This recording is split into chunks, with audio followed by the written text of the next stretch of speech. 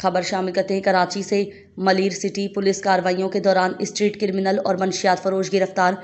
खुफिया इतला पर कार्रवाई करते हुए बदनाम जमाना मंशियात फरोश अब्दुल लतीफ़ उर्फ़ बादशाह को गिरफ़्तार कर लिया। मुलजिम के कब्जे से एक किलो से जायद आला क्वालिटी की चर्च बरामद कर ली है। S H O Malir city Adnan Bukhari ने मुलजिम के खिलाफ इंसदाद मंशियात एक्ट के तहत मुकदमा दर्ज कर दिया है। मीज़ान न्यूज़ से chief crime reporter Abid Hussain Afridi की रिपोर्ट।